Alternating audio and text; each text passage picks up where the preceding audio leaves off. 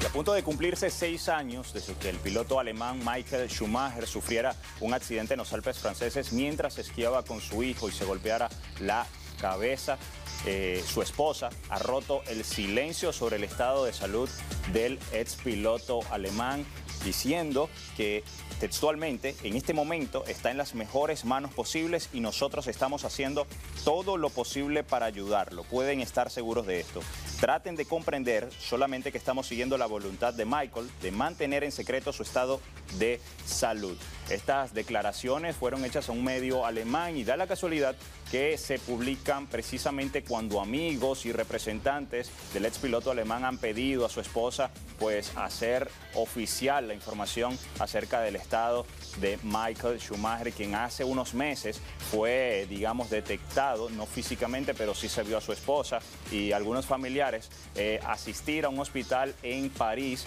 y se ha pues escuchado el rumor de que ha estado bajo un tratamiento de células madres para tratar de bajar la inflamación que aún persiste después de, tantos después de tanto tiempo y tantos años en su cráneo. Así que pues ella ha roto el silencio y ha dicho que esto de mantener en secreto la información y el estado de salud de él ha sido por petición del piloto alemán.